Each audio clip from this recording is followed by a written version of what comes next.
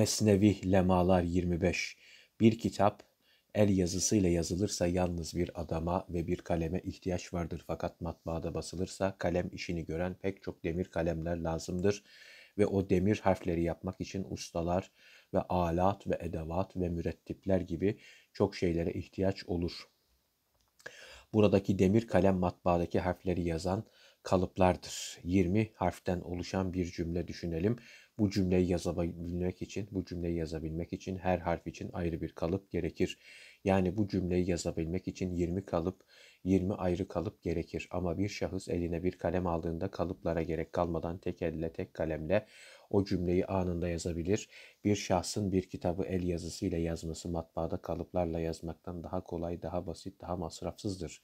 Her şeyi sebepler ve tabiat yapıyor diyenlerin fikirlerini çürütmek için veriliyor bu örnek.